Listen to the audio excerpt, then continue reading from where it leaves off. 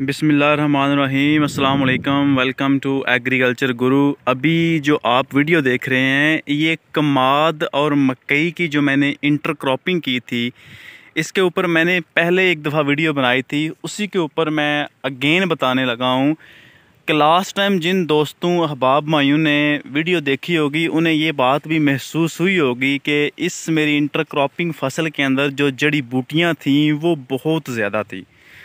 और आज आप देख रहे होंगे कि जो जड़ी बूटियाँ हैं, उनका बिल्कुल सफाया हो गया हालाँकि इसके अंदर भंग भी थी और इसके अलावा फूल वाली बूटी थी, इसके अलावा एट सेट थी और डीला था और अभी अल्हम्दुलिल्लाह बिल्कुल जो जिसे साफ़ सफाया कहते हैं, वो वाला हो गया हुआ है। अभी ये बूटी आपको नज़र आ रही है, इसकी जो हाइट थी वो तकरीबन कमाद के बराबर हो चुकी थी। और मुझे ये लग रहा था पर्सनली कि इस दफ़ा हमें जो कमाद की फ़सल है, वो लगता है कि जड़ी बूटियों ने ही खा जानी है।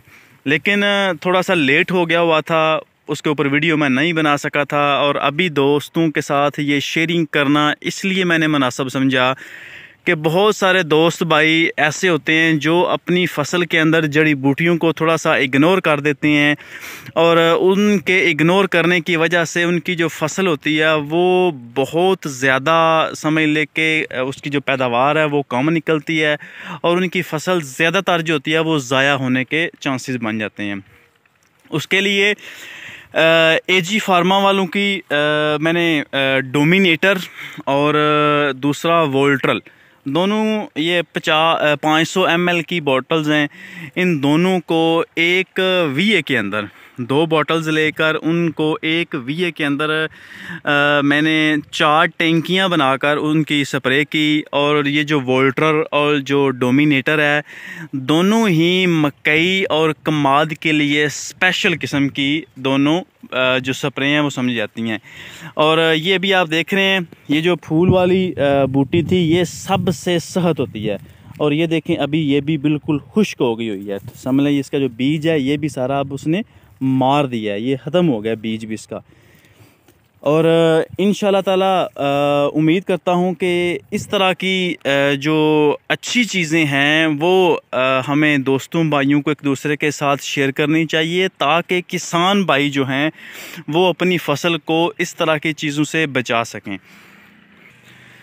पहले मुझे यही लगा था कि शायद जो छोटी बूटी है, वो सिर्फ़ मरेगी, जो बड़ी बूटी है, वो नहीं मरेगी।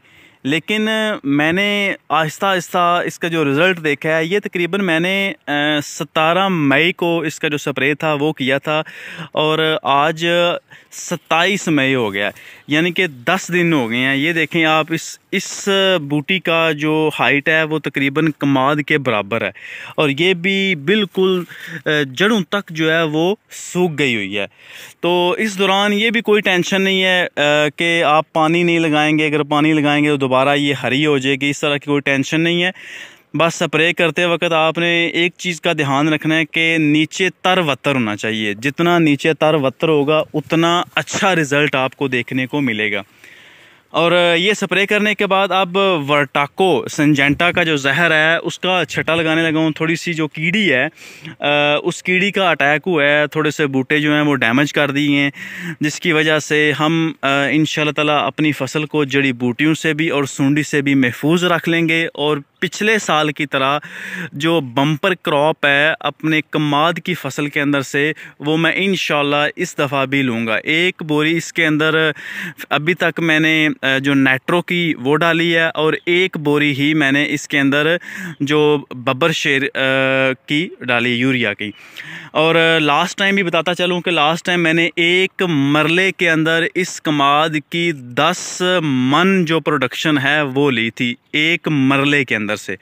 और मेरा ख्याल है कि ये एक जो सिंपल सा तरीका है, उसके तरीके से मैंने ये कमाद लगाया हुआ था। बस स्पेशल केयर की वजह से और दूसरा जो ऑर्गेनिक खाद मैं का मैं यूज़ करता हूँ। उसकी वजह से हमने इसकी जो बम्पर क्रॉप थी वो ली थी और इन ताला इस दफ़ा भी मैं इसकी बम्पर क्रॉप जो है वो आपके साथ एंड तक शेयर करूँगा। उम्मीद करता हूँ ये छोटी सी वीडियो आपको अच्छी लगी होगी। अगर वीडियो अच्छी लगी हो तो चैनल को सब्सक्राइब कर दीजिएगा ताकि मेरे हर नए आने वाली वीडियो का जो नोटिफिकेशन हो वो आप तक सबसे पहले पहुँच सके। इसी के साथ इजाज़त दीजिए। नासिर वड़ैच, अल्लाह हाफिज़।